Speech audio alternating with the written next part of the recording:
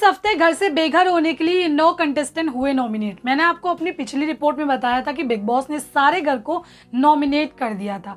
तो वहीं दिवाली के मौके पर चार सेलिब्रिटी आएँगे जिनको एक पावर दिया गया है कि ये किन्हीं चार कंटेस्टेंट को सेव कर सकते हैं। मैं आपको उनके नाम भी बता चुकी हूँ जो सेव हो चुके हैं। चलिए आप आपको बताते हैं कि वो कौन से कंटेस्टेंट है जो इस हफ़्ते घर से बेघर होने के लिए नॉमिनेट हुए हैं।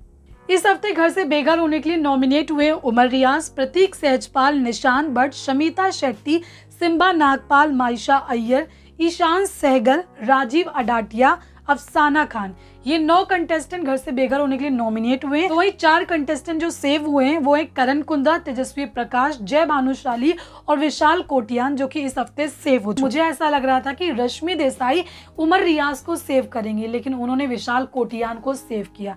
तो दोस्तों कॉमेंट करके बताइए इस पर आपका क्या कहना है। बिग बॉस से जुड़ी लेटेस्ट अपडेट के लिए आप मेरे चैनल को सब्सक्राइब ज़रूर करें। Thank you